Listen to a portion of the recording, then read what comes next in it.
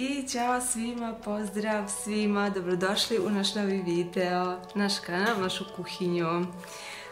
ovako, sad sam upravo stigla sa posla i želim da spremim nešto što, što sam najviše voljela u detinstvu. Znači, ovo sam obožavala, a i dan danas zaista volim.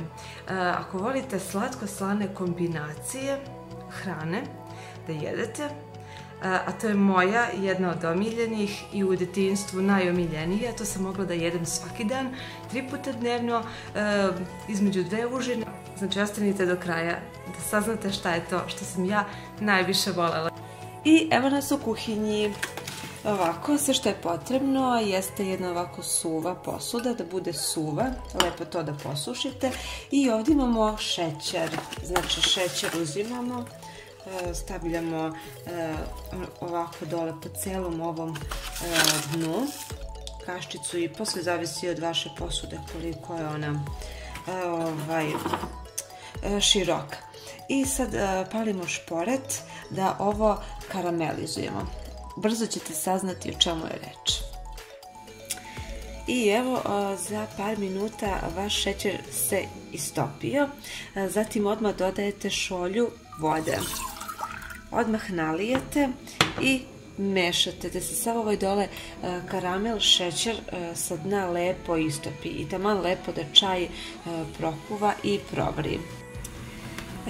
Čaj mešate da vam se sve dole lepo istopi, sav ovaj karamel i naravno lepo da se prokuva.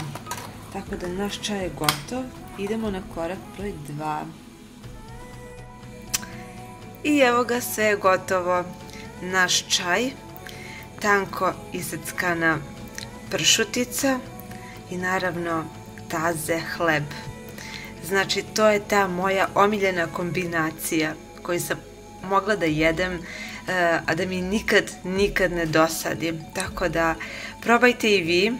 Eh, iako možda niste znali da volite slatko-slane kombinacije, isprobajte, eh, možda vam se svidi, eh, možda eto, ovaj, saznate da i vi volite tako nešto, probajte i moju kombinaciju, ja se nadam da će vam se svidjeti. Iskreno, Ovaj, prvi put pričam na ovu temu i ovaj, zaista ne znam nikoga da, da isto voli ovo što ja volim, tako da hajde probajte svi ovo pa mi javite kako se vama sviđa ili možda sam samo ja jedina koja voli ovo.